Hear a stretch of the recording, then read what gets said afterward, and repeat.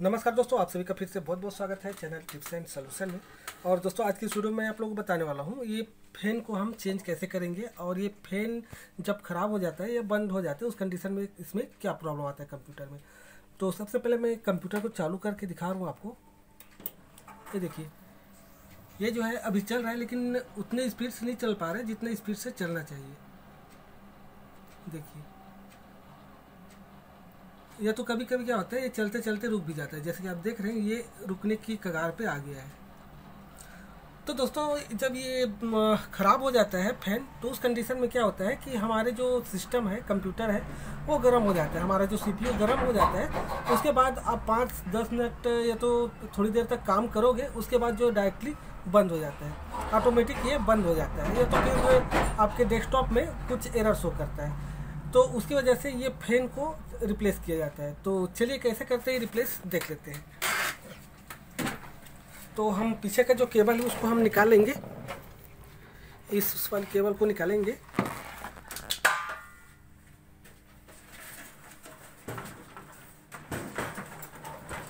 अब उसके बाद जो है, इसमें चार स्क्रू लगे हुए हैं। आपके जो मदरबोर्ड है, वो डिपेंड करेगा कि उसमें कौन सा फ़ैन लगेगा। तो इसमें जो है नाइन फोर फाइव या तो फिर जी थर्टी वन का फ़ैन लगा हुआ है तो इसको हम रिप्लेस करेंगे। अगर आपका S sixty one sixty one board है तो उस कंडीशन में लॉक वाला रहता है, आप वो लॉक खोल के उसको चेंज कर सकते हैं। तो यहाँ नॉर्मल रूप से मैं इसको खोल रहा हूँ स्क्रू ड्राइवर की मदद से।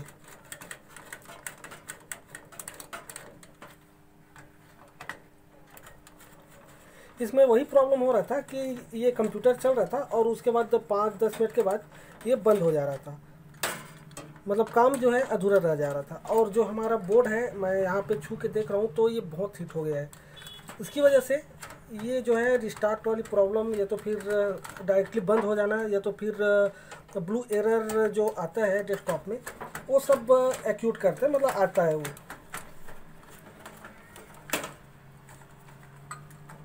अभी और लगा हुआ इसमें।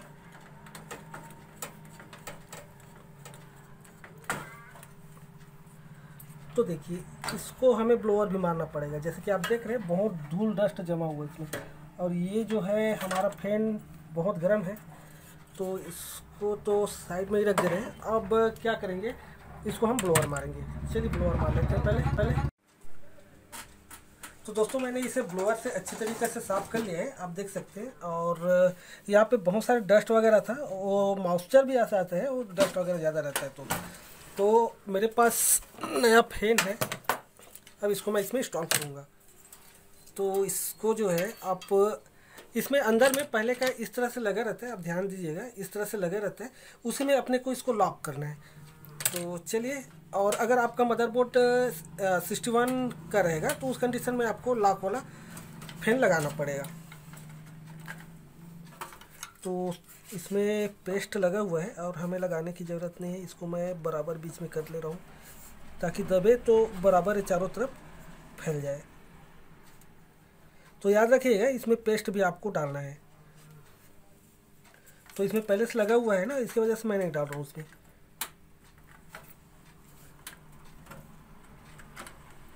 इस तरह से इसको फिट करना है।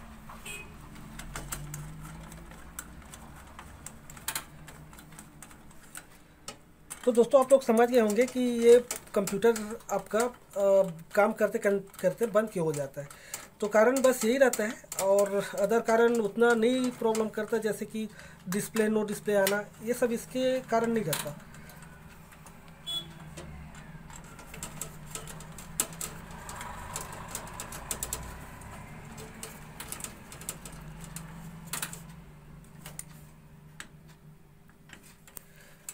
तो इस तरह से जो है आप मार्केट से फिर लेके आप खुद लगा सकते हैं। एक्स्ट्रा आपको कहीं खर्चा करने की ज़रूरत नहीं है।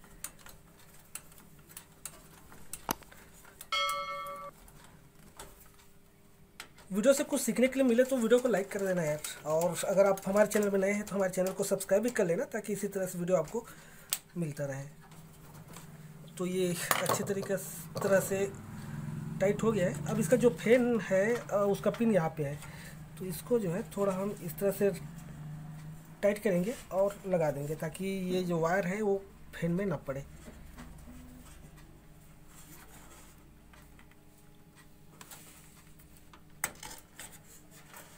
ये लग गया। चलिए केबल वगैरह लगा के देखते हैं।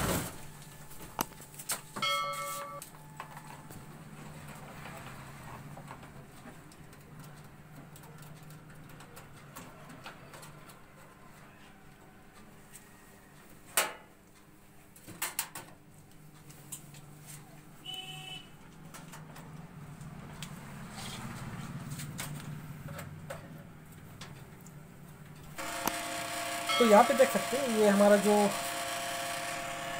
मदरबोर्ड का फ़ैन है, वो अच्छे से चल रहा है इसके लिए और हवा भी बराबर फेंक रहा है, गर्म हवा। तो इस तरह दोस्तों, आप जो है फ़ैन को चेंज कर सकते हैं, अगर फ़ैन आपका ख़राब हो गया तो।